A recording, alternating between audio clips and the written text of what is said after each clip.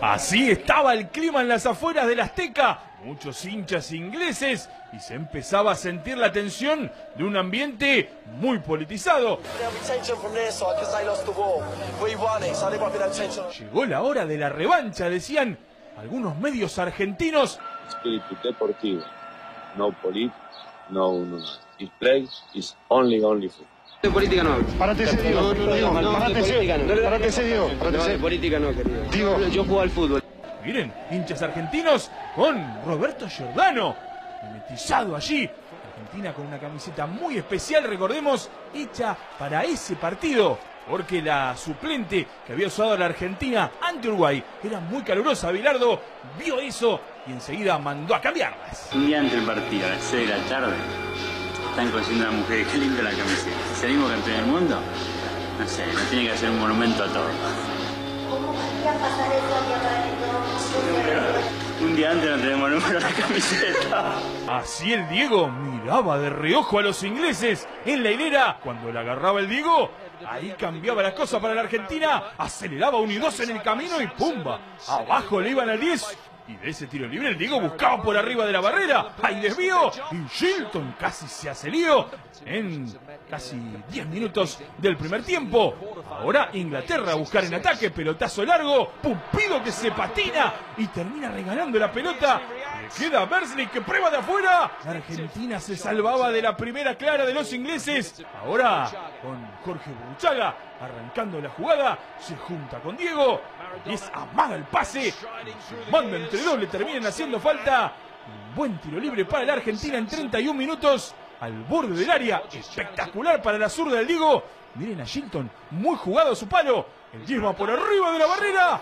Al ladito del palo la pelota. Nos vamos al entretiempo. Porque claro, la paloma blanca, símbolo de la paz, volaba por el Azteca. Y Diego hacía jueguitos antes de arrancar la segunda parte. Pero atención, al mismo tiempo había un problema por una bandera entre hinchas ingleses y argentinos. Empiezan los tironeos y empiezan los problemas reales en la tribuna del Azteca, señores. Porque de repente, después de los tironeos, volaban algunas cosas y empezaron las piñas, sí, con un Raúl Gámez presente allí en la tribuna del Azteca, enfrentando a varios hinchas ingleses. Se ponía muy picante la cosa, en un clima complicado que había venido ya desde la previa y se terminaba viendo dentro de la cancha.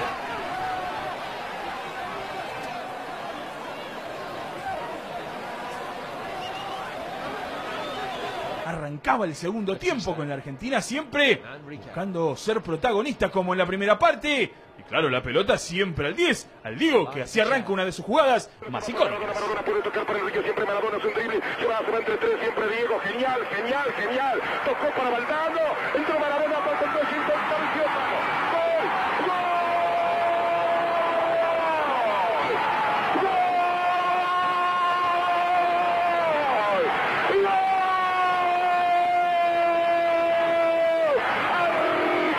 Argentino Diego, Diego Armando Maradona entró a buscar después de una jugada maravillosa, un rechazo para atrás, saltó con la mano para mí, para convertir el gol, mandando la pelota por arriba de Peter Shilton, el línea no lo advirtió, gol fue con la mano, lo grito con el alma, y que Dios me perdone lo que voy a decir, contra Inglaterra hoy, aún así, con un gol con la mano, ¿qué quiere que le diga? Inglaterra quería responder. El Checho Batista, pumba fuerte abajo. El árbitro no cobra nada y arranca esta gran jugada. Enrique engancha, le va a tocar para Diego. Ahí la tiene Maradona, lo marcan dos, pisa la pelota Maradona. Arranca por la derecha el genio del fútbol mundial. Y es el central, va a tocar para Borruchaga siempre Maradona. Genio, genio, genio, ta, ta, ta,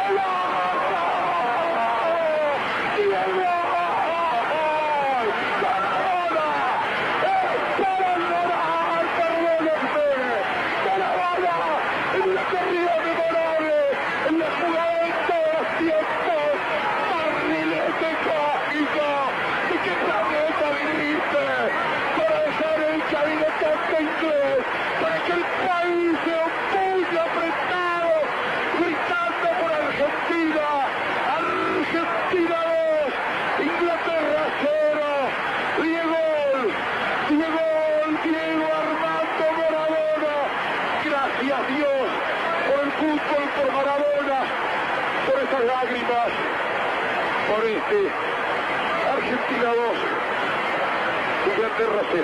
Parece mentira, pero se me vino, se me vino a la mente eh, lo que me había dicho el turquito en el partido que nosotros jugamos con Inglaterra en Wembley, en la era Menotti, eh, cuando yo le defino, le defino a, a Clemens, creo que era en ese momento el arquero, se la toco y pasa rozando el palo, el palo derecho. Y el turquito me decía siempre, Pelu, definiste mal. Yo le decía, no, definí bien porque era la única que me quedaba. Me dice, no, Pelu, definiste mal porque tenía que haberle enganchado para afuera y después tocarla con la parte de afuera del pie izquierdo.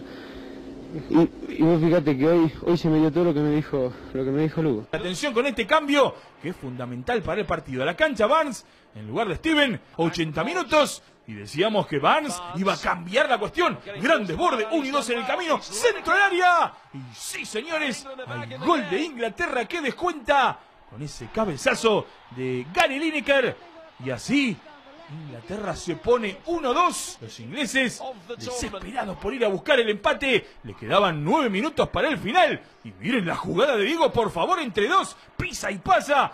Termina tirando una pared con tapia, devuelve para el chino, engancha para adentro, traba y saca la bomba. El palo le dice que no la selección. Era para cerrar el partido a 8 del final. Pero el palo le decía que no mientras tanto. El Diego la tenía, la aguantaba entre 2 y 3. Y ahora la contra es para Inglaterra. Atención. Otra vez con Barnes, que era el gran problema de la Argentina en defensa. Termina desbordando otra vez. Centro de zurda. Y sí, señores, la termina sacando Ola Articoechea sobre la línea. Y con la nuca, fíjense. Es impresionante la salvada de Articoechea.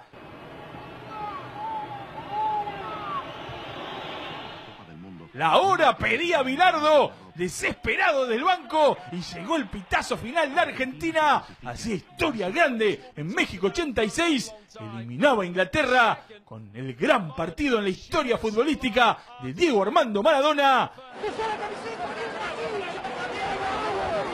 Diego llega al vestuario, abrazo con Grondona y delirio total.